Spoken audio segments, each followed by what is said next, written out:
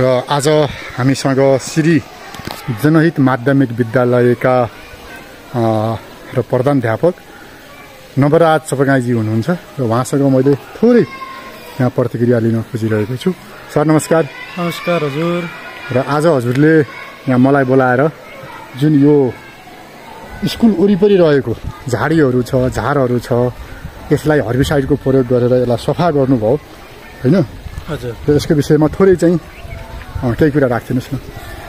सर्वप्रथम हाम्रो चिरन सरलाई यो अहिलेको आधुनिक टेक्नोलोजीको प्रयोग गरेर कृषि क्रान्ति गर्दै हुनुहुन्छ यहाँलाई बधाई छ धन्यवाद छ। गाउँको एउटा नमुना आधुनिक कृषक बन्न खोज्नु भएको छ शुभकामना पनि छ। म स्कुल आउँदै गर्दा तपाईँलाई बाटोमै भेट भयो। अहिले बर्खाको समय। विद्यालयमा यो झारहरू अत्याधिक मात्रामा फैलिएर बच्चाहरूको आवत जावत हामी सबै स्कुल रिलेटेड सबैलाई गाह्रो भइरहेको अवस्था थियो। केही त हामी विद्यार्थी हामी नै भनेर भित्रको सामान्य झार झारहरू उखाल्ने काम त गरेका थियौँ। तर आज हामीले चाहिँ नि तपाईँलाई भेटेर यो औषधिको प्रयोग गरेर प्रतिक्रिया पनि देखिसकेको छ। दस बजे पछाडि चाहिँ नि हामीले हालेको हो औषधि प्रयोग गरेको हो। र अहिले चाहिँ नि प्रतिक्रिया पनि देखिएको छ। लाग्छ अब हाम्रो चाहिँ विद्यालयमा यो बर्खाको समयमा पनि पुष माघको जस्तो क्लियर हुने सम्भावना देखियो होइन? महसुस गरिराखेको छु। र देखा हेर्न पनि सकिन्छ। अहिले देखाउनु पनि सक्नुहुन्छ तपाईँले। काम गरिसकेको छ। पनि पनि यो वनमासाहरू पनि अँ, चाहिँ अब त्यो बाटोको पनि मरिसकेको छ होइन? अब यहाँको सिस्नु पनि हेरौँ न होइन सिस्नु पनि पनि हेर्नुहोस् मरिसकेको छ। लाग्छ यो हामीले ज्यालादारीमा काम गर्नुभन्दा पनि हजुर। यो टेक्नोलोजीको प्रयोग गरियो भने धेरै खर्च पनि नहुने र प्रतिक्रिया पनि छिट्टै नै प्राप्त गर्न सकिँदो रहेछ। यो राम्रो मलाई चाहिँ राम्रो भनेपछि अब यो विद्यालयको बाहिरी वातावरण पनि सफा हुनु पर्यो। विद्यार्थीहरूको पढाइ पनि सरलता हुनु पर्यो। अब बर्खाको समय छ सर्पहरूको डर हुने भएको कारणले झाडी बढी भयो भने चाहिँ झ- सर्पहरू लुक्ने र डस्ने हुनसक्छ त्यसैले चाहिँ यो मारेकै राम्रो अत्यन्तै राम्रो यसलाई चाहिँ कम गराएकै राम्रो चाहिँ हुन्छ भन्ने चाहिँ हो।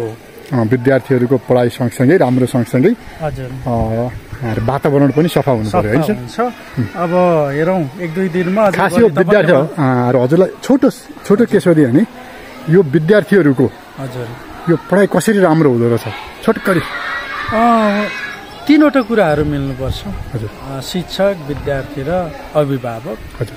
अभिभावकहरूले पनि आफ्नो बालबच्चालाई चाहिँ नि के गर्दैछन् कसो गर्दैछन् भनेर उनीहरूलाई हेर्ने अनि सघाउने सानो बच्चाहरूलाई विशेष गरी सघाउनु पर्ने हुन्छ।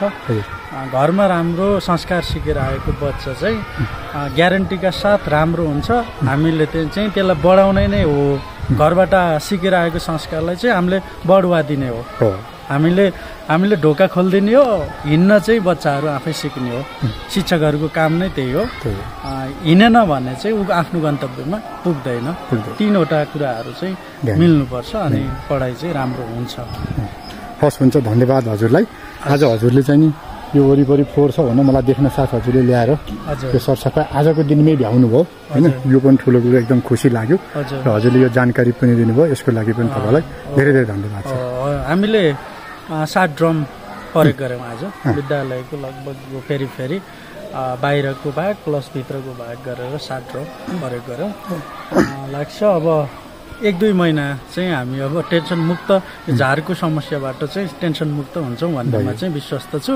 र तपाईँले पनि त्यसरी नै हामीलाई आश्वस्त गर्नुभएको छ। शुभकामना यहाँलाई। हस् धन्यवाद। है त। र दर्शक साथीहरू आज हामी यो श्री जनहित माध्यमिक विद्यालयमा आएका थियौँ र यहाँको प्रधानध्यापकले यो झारहरू चाहिँ मार्नु पर्यो। यहाँ विद्यार्थीहरूलाई सर्पहरूको विभिन्न चाहिँ उहरूको चाहिँ डर भयो फोहोरहरू भयो भनेर उहाँले भनिसकेपछि हामीले यो मन्दिर लगायत यताको यो ग्राउन्ड यो भागहरू र यो बाहिरी वरिफेरि सेरोफेरोदेखि लिएर यो सबै भागहरूलाई हामीले मार्यौँ र एकदमै सफा हुन गइरहेको छ। अहिले त बल्ल आज हाले हालिएको हो। अब यो एक हप्ता जतिमा यो एकदमै यहाँको वातावरण चाहिँ सफा हुन्छ र हामीले फुलहरूलाई मारेनौँ। यहाँ जुन चाहिँ अनावश्यक झा झाडीहरू थिए तिनलाई सफा गरियो। यसरी सफा गर्दाखेरि विद्यार्थीहरूलाई पनि यो हेर्दाखेरि एकदम विद्यालय सफा देखिने फुलहरू देखिने र पढ्न पनि मन लाग्ने हुँदा उहाँहरूले चाहिँ यसरी यो सरसफाइमा एकदमै ध्यान दिनुभएको छ र विद्यार्थीहरूलाई यो औषधि हाल्दा हामीले बाहिर निस्किन दिएनौँ र यो सुकिसकेपछि अब केही हुँदैन अनि उहाँहरूले यसरी म्यानेजमेन्ट गरेर काम गर्नुभएको छ। उहाँहरूलाई पनि धेरै धेरै धन्यवाद र हामीलाई सब्सक्राइब लाइक कमेन्ट सेयर गर्नु थ्याङ्क यू सो मच